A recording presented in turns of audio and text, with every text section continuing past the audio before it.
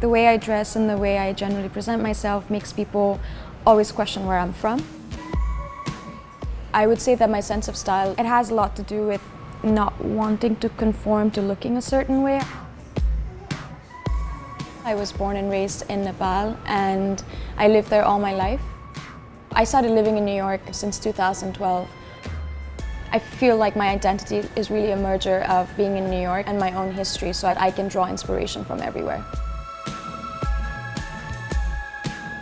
Jewelry happened while I was in school. I needed to also do something that was fun, that would remind me of why I do what I do, and so jewelry became that for me.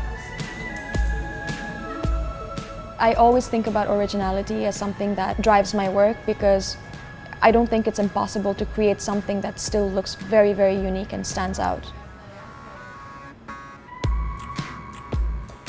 My hope is that when people wear my jewelry that they are interested in the idea of jewelry and not just putting something on because it completes a look.